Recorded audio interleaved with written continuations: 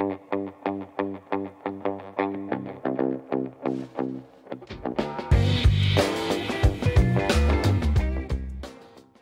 right, welcome back to the Rip City Roundtable podcast. I'm your host, Corey Dickman, the shoot first point guard here on the podcast. We're so glad you're joining us and checking us out. We have some things to talk about. Over the past week, since the last time we chatted, the Blazers have logged in three Summer League performances. And again, for us Blazers fans, this might as well be the playoffs. I mean, this is just as exciting, just as locked in. I'm checking scores. I'm making sure we're home on time to make sure we check. We're there for the tip off of the first game. You got behind me here the Washington game, which was the last one the Blazers just played, to move to two and one into Summer League. I know records don't matter in Summer League, but you know, the better you do, you get the chance to go to the playoffs in summer league. You get some extra games in, which is always nice. And although they don't matter for the long term, you know, records and all that kind of stuff, to these guys playing out here, majority of them will never see an NBA court. This is what they have to live for. And so wins and losses do matter to them. And just to see good basketball, which is a little rough sometimes in summer league, but you want to see people competitively trying to play the best they can and to have a shot at the NBA. So it's exciting to see teams win. You still want it, you still want the W. In the last two games was actually super exciting towards the end. The Philadelphia game and then this past one against the Wizards both came down to the end, both in different ways. The Blazers making a slight uh, call it small comeback against Philadelphia to hang on to a two-point win. And then against Washington, when they and the Blazers had the lead, and Washington climbed back. The Blazers made a very, very poor turnover at the end of the game. Luckily, did not cost them uh, the game, which was nice. So they moved to two and one. Even the Spurs game, which was a very, uh, very lopsided, uh, we'll call it that to, to say to say the least. Throughout most of the game, uh, the Blazers did claw back and at least make it competitive towards the end, with ha- and had chances to get close to win that game. So two and one's the record. But records aside, we're all watching to see Mr. Clingan, Mr. S- number seven pick in the 2024 NBA draft, the guy that could have been number one, maybe could have been two, slid all the way to seven, and the Blazers grab him. We knew, we knew Donovan was going to be a good defensive player. But what we've seen so far in Summer League should get Blazers fans excited. And it should get us excited because, well, for a few things. One, I think we got a we got a gem of a defensive player here. And two, I think this means Rob, Robert Williams, I think we can trade him sooner rather than later and give these minutes behind Ayton in the regular season, give him to Clingan because he is going to be a defensive guy right off the bat. You're seeing him in Summer League here. He's leading Summer League in rebounds. He's leading Summer League in blocks, which again is Summer League, but there were there were guys drafted ahead of him. Alex Sarr, a center, right? Uh, the second pick in the draft. He went up against him head on in this Washington game, which we'll touch on here in a second. But Clingan's out playing these guys from a defensive perspective. Now, I think as Blazers fans and media, we all knew Clingan was going to come in and do this, but it is nice to actually see it happen. There is a number, though, that I want to hang my hat on that's on my head right now is the number 2.7. And you're thinking, 2.7? What's 2.7? That's how many fouls he's averaging right now in Summer League, which is crazy because Summer League, they give you a lot of fouls, okay? You get much more than six fouls before you foul out of a Summer League game because they want to see you hustling. They don't want to um, uh, hamper development in Summer League because of fouls. So naturally, you just collect more, right? There are some guys averaging seven fouls a Summer League game right now. Clingan averaging 2.7 is is massive because if he can stay in the game on the defensive end of the court, that is going to do wonders because always what gets a big man in trouble. And I think in, in, college basketball this happens, especially in the tournament, and why teams that have, you know, centers, it, it, gets a little shaky because they get two fouls and they're done. And in college basketball that happens a lot and you lose one game, you're out of the tournament. But Clingan obviously won back to back titles there, so he knows how to manage his fouls well, and it's showing in Summer League. Because if he was going to be a foul guy, he would be fouling right now. And so that to me stands out more so than anything else. His rebounding's great. The block shots and the shots that he alters, they always say this all the time about shot blockers, right? It's not the amount of blocks you get, it's the shots that altered that are mattered, and those aren't those aren't recorded in the stat sheets, right? He's altering a lot of shots. And the guy can move. He's good on his feet, but he can control that paint on the on the back end, on the defensive side. So I don't know. I think right now, and I'm gonna overreact here. I mean, the Blazers got a guy right here. This is a Rudy Gobert. This is this is Rudy. He got drafted 27th in the terrible terrible uh, 2013 draft, right? The same one that Giannis came out of. The draft that a lot of people have compared the 2024 draft too, right? They compare it to 2023 or 2013, sorry, Anthony Bennett, Victor Oladipo. But you go down that list and, you know, Rudy Gobert at 27, Giannis at 13. Like you get guys, you know, CJ at 13 or at 10. You there were players in that draft. So Clingan I think has that potential. I would say Donovan Clingan is ahead of where Rudy Gobert was at that same age and same stage. Now, Gobert's coming from France back then, right? Whole different scene. Clingan's coming from college basketball. But as far as a defensive guy goes, this is it. And I don't want the offensive side. I know you're going to say, well, what about the offense, Corey? And I would say, well, let's cut to break and not talk about it. But uh, the offense is it's coming along. It, it uh, you know, he he made his first three Donovan Clingan made his first three in the Wizards game. So he's like, I think one for nine now, some, somewhere in there, 16%. Um, he doesn't need to be a light, lights out three point shooter. But if he can pull defenses out and at least somewhat come to him and close out, that's what we want. But his ability to play make is really what's going to be strong, what's going to pull defenses to him because you give a 7 2, a 7 3 guy full vision to make passes, that guy's going to hit cutters to the lane all day long or find one pass, hockey assist to the corner for a three. So Clingan's ability to pass probably will do the trick. But if he can get up to a 33, 34, 35% three point shooter, knock down one or two a game, that will change his offensive trajectory here.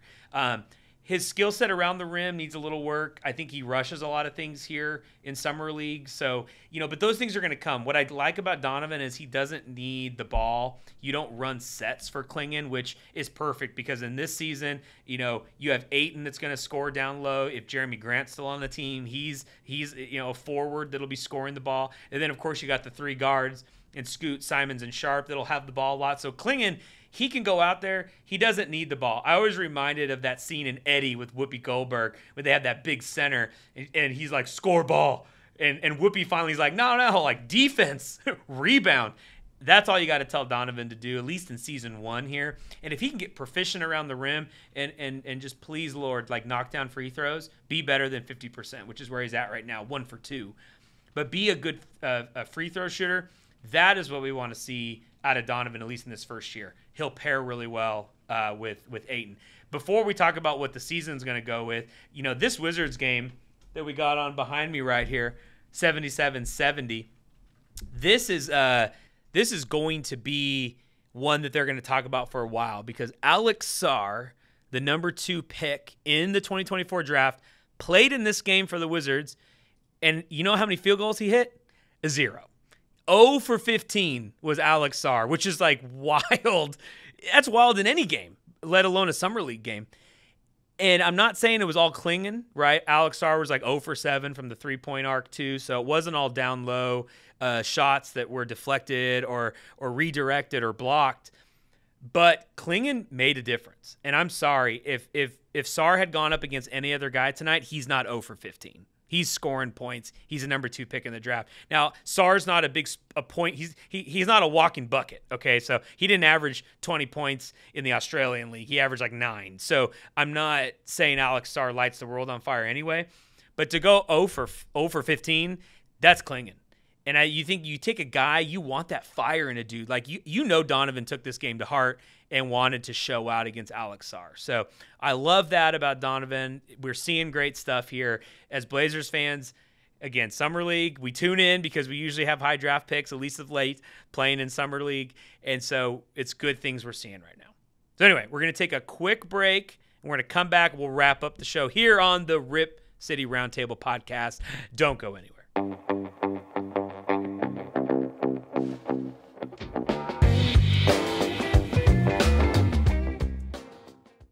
Right, we're back. We have to run the ads. We got to pay for the show. We got to we got to we got to figure it out somehow, right? So here we go. Second segment. We got the Philly game behind us. I talked about this game two.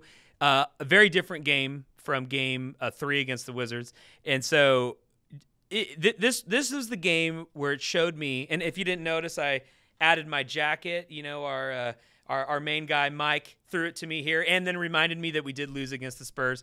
And uh, I, I, brought it up. I, I, said we lost to the Spurs. Castle's a great player. He he played well. He's friends with Donovan. I'm sure they had a thing going. It's Vegas. Maybe they had a side bet between the two of them. And and Castle he he played really well. When you have Popovich, you had CP3, you had Harrison Barnes on the sideline. I mean that's unfair, right? You have your coach on the sideline probably telling people stuff. You know, who knows? Who knows what Popovich does? So, but we did lose that game. We'll see the Spurs in the summer league finals. So, uh, but the, the but the Philly game was fascinating, but not in a good way, because the Blazers have basically three guys that were on the roster last year that are in summer league, right? Justin Minaya, two way guy. You know how I feel about Justin. He is a playoff guy. You could he could have played for the Celtics in the finals. I, I'm telling you. I know he's a two way dude, and I know he's very predictable, but the guy plays, and he could give you seven or eight really good minutes in a high end playoff game. But that's another conversation. So Minaya's playing.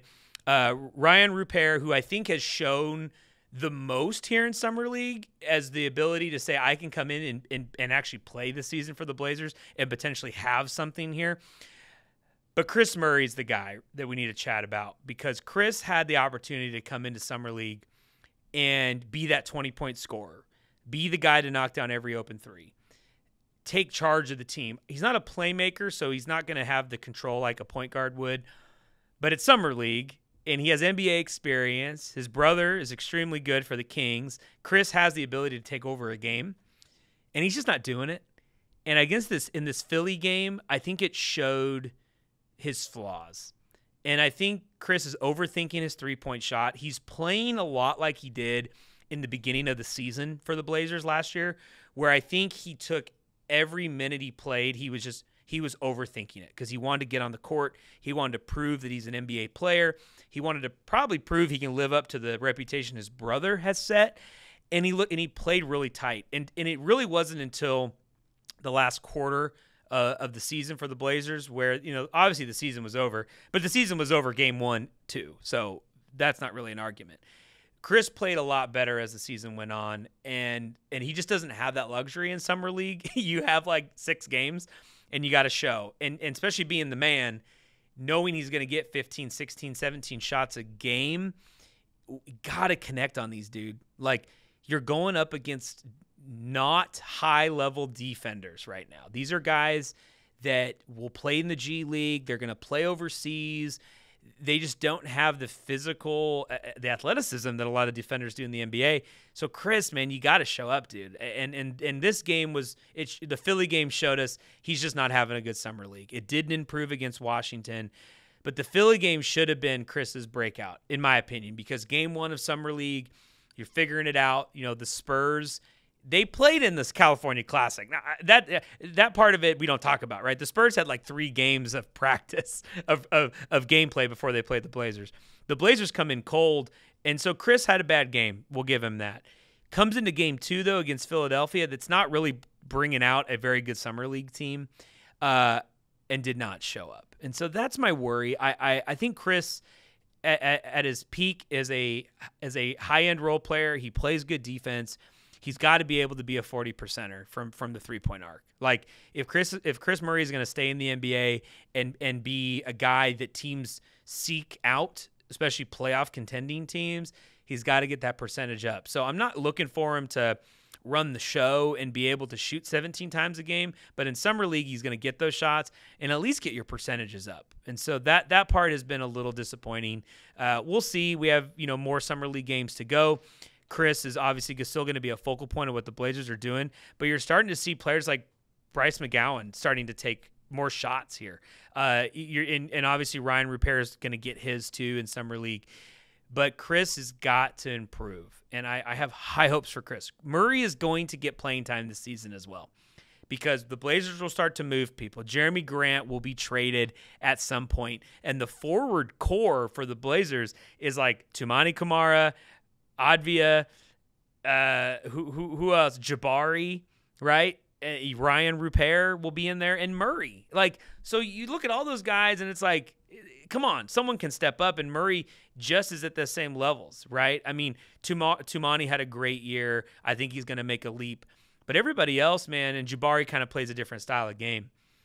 Murray, you you got to take these opportunities, man. And I know you feel the pressure right now, and that's probably part of the reason why why things haven't been panning out here. Uh, I'm I'm gonna be looking to Kris. I think I think I know what Rayan Rupert is, and I'm excited for what he can become. Clingan, I know what he is, and I'm really excited for what he can become. Uh, Minaya, Bryce, you have these two way guys. Uh, Jackie has been fun to watch too. Uh, but Murray is going to be the dude that has to show up for the rest of summer league, or I just don't know what ends up happening because he could be a classic. And the Blazers, Blazers fans, we know this type of player, right? We've seen this type of player, right? Your Allen Crabbes of the world, where it's like players come in, Will Barton, you know, uh, that may be a different example than Crabbe, but it's like players that we know maybe have some skill set, but just don't ever pan out for the Blazers and then move on. And I think Murray can show up. He's just got to prove it to us in Summer League to build that confidence. It's all in his head right now. He has the skill, he has the talent. Let's see what he can do. So, Blazers fans, three games in, Summer League, feel good. Two and one, Clingan playing well, staying out of foul trouble. I like it. So let's just see how the rest of this goes. This is our playoffs right now because when we get into 20 the 2025 season, 2024 2024 2025, it's going to be capture the flag time. Right? Am I right? Wink, wink. So let's get some Summer League. Let's win the title. Let's win the Summer League title. Clingan MVP. And then let's be okay tanking for another year. So, anyway, I hope you enjoyed the episode. Sorry you were stuck with me. I got some great guests lined up for the next couple weeks. You're going to like it. People that have been down at Summer League right now, getting a much closer glimpse uh, of, of, the action than, than I have been. Uh, I'll be covering the game Friday. So when this episode comes out, the Friday night game against the Hornets, I'm, I'm writing the recap. So check out blazersedge.com after that. See if you agree with the things that I notice. Uh, no Scoot, no Brandon Miller in this game, but the Hornets always have a good summer league team because they're always terrible. So it'll be a fun game. Check it out Friday night. Read the article on Blazers Edge. And as always, like, follow, subscribe the podcast, the YouTube channel uh, all the things, Rip City. So thank you for joining us. And again, and as always, it is a great day to be a Blazer.